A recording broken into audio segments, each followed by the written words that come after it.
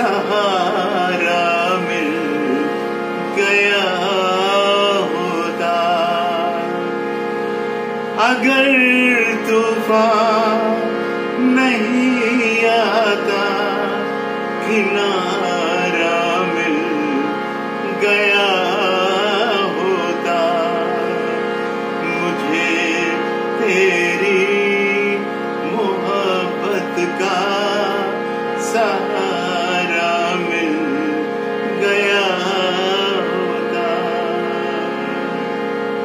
मेरा नाम है बंकिम पाठक।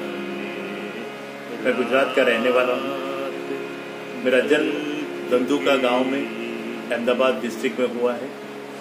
और आज मैं 75 इयर्स ओल्ड यंग मैन मैं जब तीन साल का था, उस वक्त मुझे पोलियो अटैक हुआ।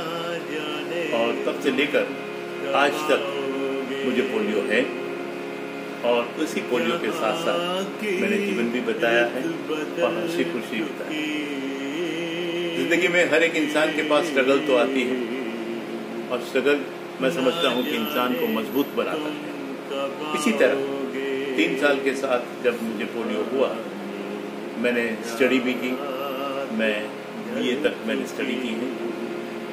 स्कूलिंग के बाद कॉलेज में सेंट जेवियर कॉलेज में मैंने ग्रेजुएशन किया और साथ साथ ग्रेजुएशन के बाद मैंने अकाउंटेंट जनरल ऑफ़िस में 12 साल की ऑडिटर के हिसाब से मैंने सर्विस भी की। इसके बाद मुझे 1985 में इंडियन ऑयल कॉरपोरेशन की तरफ़ से फ़िज़िकल हैंडीकैप ग्राउंड पर गैस एजेंसी ऑफ़र की और लगातार 1985 से आज तक मैं पौरवी गैस, मेरी डॉटर का नाम है पौरवी गैस।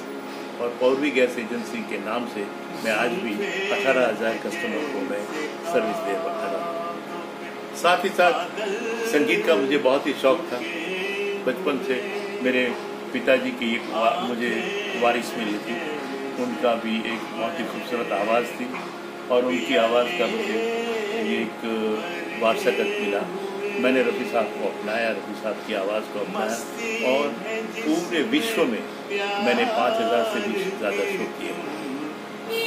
और पचास साल से लगातार मैं शो बिज़नेस में हूँ। 1981 में 80 में जब रफ़ी साहब का स्वर्गास हुआ इसके बाद 81 में मैंने बंकिम पाठक एक याद रफ़ी के बाद का बैनर शुरू किया। और लगातार आज पाँच हज़ार से भी ज़्यादा शो मैंने किए हैं। साथ ही साथ अनगिनत अवार्ड मिले हैं। यहाँ तक कि गुजरात गौरव पुरस्कार मुझे मिला है। कई क्लबों के मुझे अवार्ड्स मिले हैं। साथ ही साथ नेशनल अवार्ड भी प्रेसिडेंट से मुझे मिला है। और लगातार मैं समझता हूँ कि ये सब करने के बाद 2004 में मैंने बंकिम पाठक फाउंडेशन का इनोवेशन अपने नाम नरेंद्र भाई मोदी साहब हो, उस वक्त चीफ सी एम थे हमारे गुजरात के, उनके हाथों हमारा इनोवेशन हुआ। लगातार हर साल दो प्रोग्राम ऐसे होते हैं जो फिजिकली चैलेंज पीपल के लिए, आत्मनिर्भर के लिए प्रोग्राम करते हैं।